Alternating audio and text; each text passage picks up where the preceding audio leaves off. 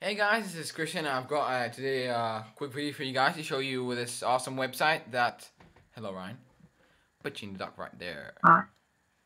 Okay, so uh, a site that's called Mailinator, and it's basically uh, you make a mail without needing to register.